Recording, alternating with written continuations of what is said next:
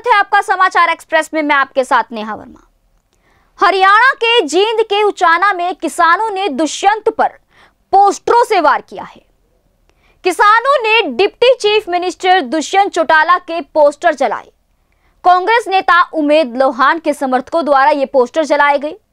कृषि संबंधित बिलों के विरोध में पोस्टर जलाए गए हैं। इस मौके पर किसान हाथों में तख्तियाँ पकड़े हुए थे, जिस पर दुष्यंत चौटाला के विरोध में लिखा हुआ था। ताऊ तेरे पड़पोते ने किसान मार दिया धोखे थे तीनों काले कानून वापस करो। स्वर्ग में बैठा सोचे ताऊ, इस नादान ने कुकर समझाऊं। हर कोई इस्तीफा दे, सबकी मजाल थोड़ी है, खोपर तो सत्ता का लालची है। कोई देवीलाल थोड़ी है। कांग्रेस नेता उमेद लोहान ने दुष्यंत चौटाला पर आरोप लगाते हुए कहा कि हमें ऐसे नेताओं से सावधान रहना होगा जो दगाबाज हैं। इनसे सावधान होने की ज़रूरत है। इन्होंने अपने दादा को दगा दिया है। अपनी दादी को दगा दी है। उन्होंने कहा कि जितने ज़ोर जुल्म हो रहे हैं, इनकी वजह से हो रहे हैं। आज हर वर्ग इनके खिलाफ है। यह तो देवीलाल परिवार में पैदा हुआ है। उनके नाम पर वोट लिए और आज सत्ता सुख भोग रहा है। अगर इस खानदान में पैदा ना हुआ होता तो सरपंच बनकर दिखा देता। वहीं इस मौके पर भारतीय किसान यूनियन के नेता रतन मान ने कहा कि यह लड़ाई प्रदेश की नहीं, बल्कि देश के सभी किसानों की है। उन्होंने कहा कि यह जंग तब तक जारी रहेगी जब तक सरकार उनकी मांगों को नहीं मान लेती। उन्होंने कहा कि 5 अक्टूबर को हिसार की बरवाला कपास मंडी में किसानों की महापंचायत बुलाई गई है। सरकार ने अगर किसानों की मांगों को नहीं माना तो इस महापंचायत में सरकार के खिलाफ कड़े फैसले लिए जाएँ। देखिए रतन मान ने क्या कुछ कहा टकराएगा नरेंद्र मोदी नरेंद्र मोदी। हर गली गली से आई आवाज़। हर गली गली से आई आवाज़। हर गाँव गाँव से आई आवाज़। भारतीय किसान यूनियन। किसानों से टकराएगा किसानों बच्चा तो लगा से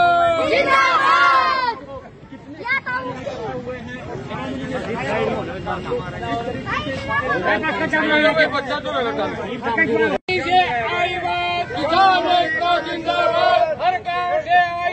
किसान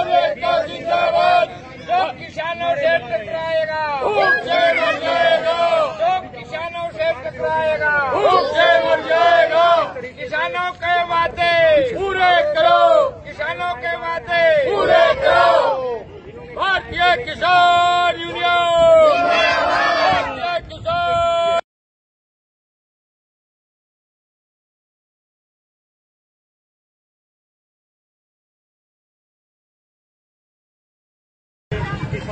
भारतीय किसान यूनियन भारतीय किसान यूनियन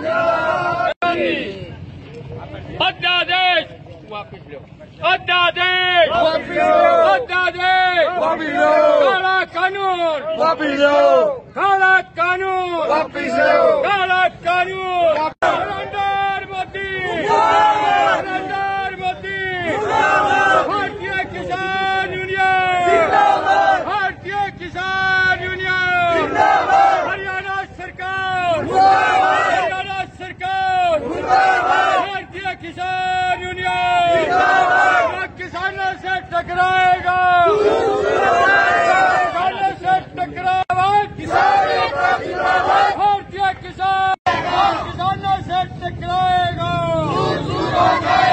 नरेंद्र मोदी नरेंद्र मोदी हरियाणा सरकार प्रदेश में नहीं, बल्कि आज पूरे भारत का ये कार्यक्रम है। पंजाब में भी, उत्तर प्रदेश में, हरियाणा में। तो ये इसलिए है कि जो तीन अध्यादेश आए हैं और जो एमएसपी के ऊपर जो खतरा मंडराने लगा है, भले ही सरकार ये दावे करती हो कि समर्थन मूल्य पर हम खरीद जारी रखेंगे, लेकिन ये तसल्ली किसान को नहीं हो पा रही तो सरकार पहले नंबर में स्पष्ट करे कि एमएसपी पे खरीद और सही समय में भुगतान गारंटी का कानून बनना चाहिए ताकि किसान की आय, फ़सल बिकने का एक भरोसा किसान को हो। लेकिन सरकार इस दिशा में कदम नहीं उठा रही। इसीलिए विरोध में आज ये कदम उठाया गया जो हमें सड़कों पर आना पड़ा मैं ये बात आपके माध्यम से कहना चाहता हूँ कि सड़क पर किसान कोई खुशी में नहीं आया। कोई और इतना कोई अच्छा कारण नहीं है तकलीफ़ हमें भी है इस बात की कि हमारे आंदोलन की वजह से कई तरह के लोगों को तकलीफ़ भी आएगी मैं उनसे माफ़ी भी चाहूँगा। और ये सारा सरकार की निराशा पूर्ण जो कर रही है उसकी वजह से हमें आज सड़क पे आना पड़ा। तो 25 तारीख का बंद का आह्वान था आगे किस तरह की रणनीति रहेगी? भारतीय किसान यूनियन की देखिए रणनीति बढ़ती रहेगी जो भी हमारे शीर्ष नेतृत्व है हमारे नरेश टिकैत जी और राकेश टिकैत जी जो, जो प्रवक्ता है युद्धवीर जी जो हमारे राष्ट्रीय महासचिव हैं आगे की रणनीति हम मिल बैठ के बैठाएँगे। रही आंदोलन के बाद आंदोलन जारी रहेगा जब तक सरकार नहीं मान लेगी तो जब हम तंग है तो ये जंग भी जारी रहेगी। और इसके बाद पाँच अक्टूबर को बरवाड़ा हिसार कपास मंडी में पूरे प्रदेश की किसान महा अधिकार महापंचायत बुलाई गई है। और उस महापंचायत में सरकार नहीं माननी, मेरी अपील है सरकार को किसानों की बात सुननी चाहिए, हर वर्ग की बात सुननी चाहिए। लेकिन ये अर्धधर्मता सरकार को छोड़नी चाहिए किसान की बात तो सुननी चाहिए। वरना बरवाड़ा के अंदर कपास मंडी में इस सरकार का आर्थिक तौर पे भी और राजनीतिक तौर पे भी कड़े फैसले लिए जाएँगे और इस सरकार को उन फैसले से लेने के देने पड़ जाएँगे और मुसीबत सरकार के सामने खड़ी हो जाएगी। पंजाब में जो किसान है वो ट्रैकों पर खड़े हुए हरियाणा में किसान सड़कों पर हैं। क्या मंशा है सरकार की? नहीं सरकार की तो नहीं समझ में क्या मनसा है। लेकिन पंजाब हरियाणा का रेलवे का एक ही ट्रैफ़िक है और जो पंजाब में सारा रेलवे ट्रैफ़िक बंद है तो हरियाणा में भी कोई ट्रेन नहीं गुजर रही। और सड़क आंदोलन को ज़्यादा मज़बूत करने के लिए सड़कों पे आज किसान है। आपका शुभ नाम प्रधान जी। रतन मान प्रदेश अध्यक्ष भारतीय किसान यूनियन हरियाणा। धन्यवाद जी। आज मोहब्बत ऐसी आई तो तीन अध्यादेश सरकार ने भारत सरकार ने जारी किए हैं वो अंधा कानून है।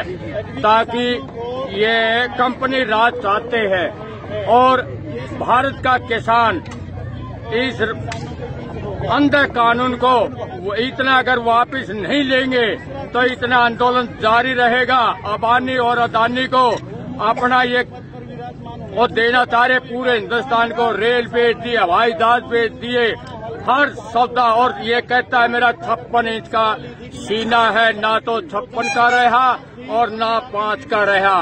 उसको तो हिंदुस्तान पूरा बर्बाद करने के ऊपर तुल चुका जी। सरकार कह रही है कि अध्यादेश किसानों के लिए लाभकारी है। ये कहते हैं कुछ है जो एमएलए हैं वे अपनी रोटी सेकने के लिए कह रहे हैं एमएसपी और समर्थन मूल्य।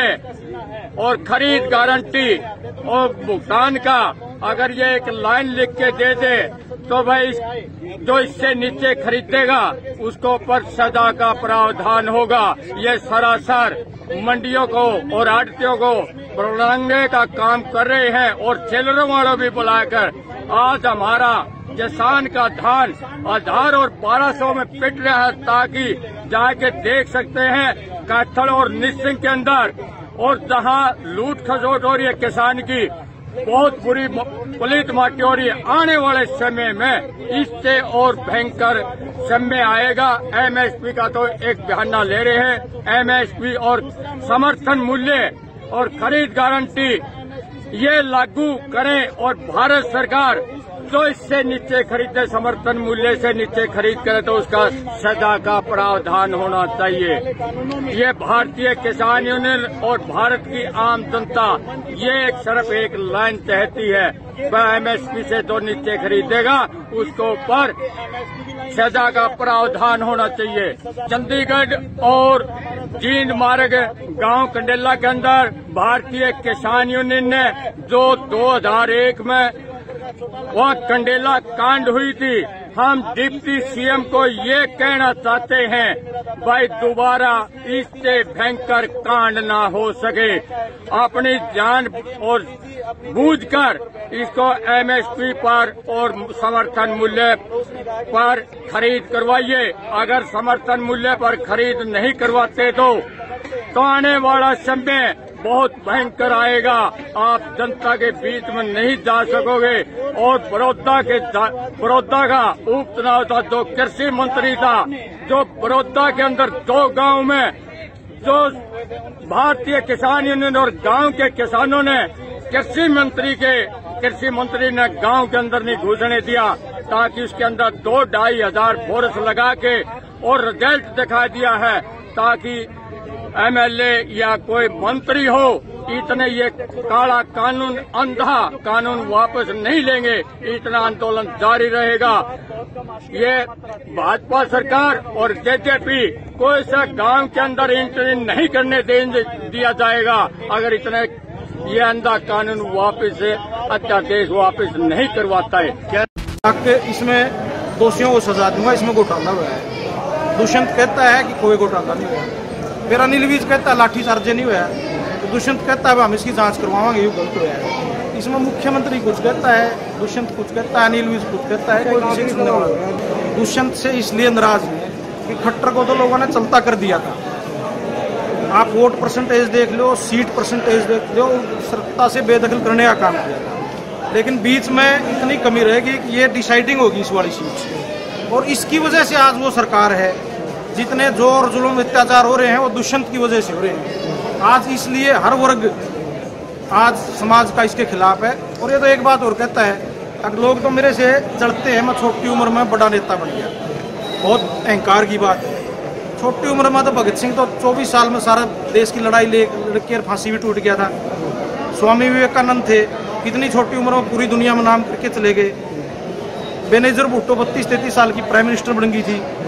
और भी बहुत से लोग आपने मिल जाएँगे इसे, जिन्होंने छोटी छोटी में सिकंदर ने दे, दुनिया जीत ली थी सताईस साल में। अरे आपने क्या कर लिया? इसे बालक सब कांड है, इसने सीरी भी को नहीं लड़ाओ कोई चाहे चोई देवलाल गल चुटाला घर में पैदा नहीं हो रहा हो, नहीं, इसने को सीरी को नहीं लड़ाओ, मजदूरी पे घूम लीजिए। ठीक है, उस घर में पैदा हो गया पच्चीस साल, छब्बीस साल का एमपी बन गया। फिर उनका नाम पे चोई देवलाल का नाम पे, चाचा भी खराब, दादा भी खराब, बाबू भी खराब, सब खराब। फिर आपने वोट ले लिए और उन सीट, उन सीटा के दम पे आज आप अपनी सत्ता सुख भोग रहे हो, लुटने का काम कर रहे हो। आप सरपंच बन के दिखाई दो, इस खानदान में पैदा नहीं होते। ये तो समझ नहीं होगी। तो जो दगा, दगाबाज लोग हैं, जो इस तरह आपको धोखा दे के वोट बटोर ले जाते हैं और फिर आप देखते रह जाते हो, इनसे सावधान सावधान होने की ज़रूरत है। दगा किसी का सगा नहीं, देख लियो कोई करके। इसने अपना दादा को दगा दिया। ऐसे ही लेटेस्ट खबरें पाने के लिए बेल आइकन को क्लिक कर हमारे चैनल को लाइक शेयर एंड सब्सक्राइब करें धन्यवाद JBD Banquets lie हैं incredible marriage palace Rajgharana and the finest banquet hall Jyoti Garden. World class catering, centrally air conditioned, lush green lawns, state of the art lighting. A perfect venue for wedding, launching and parties. Rajgharana and Jyoti Garden at JBD Banquets Enterprise.